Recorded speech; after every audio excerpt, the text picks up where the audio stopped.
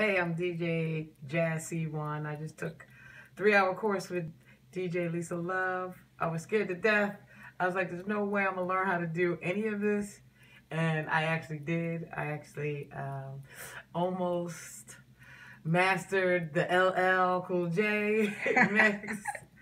and it was fun and I'm gonna be back and I would recommend this to anybody. It's fun and you do learn.